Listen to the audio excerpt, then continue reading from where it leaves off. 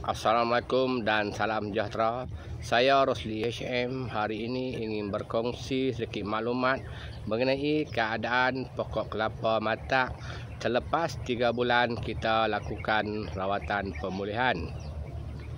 Pokok kelapa matak ini usianya 2 tahun. Semasa usianya setahun, pokok kelapa matak ini dibiarkan tanpa penjagaan Akibatnya pokok kelapa matang ini diserang dengan pelbagai penyakit. Kita telah lakukan rawatan pemulihan dan keadaan pokok kelapa matang seperti mana dalam video ini.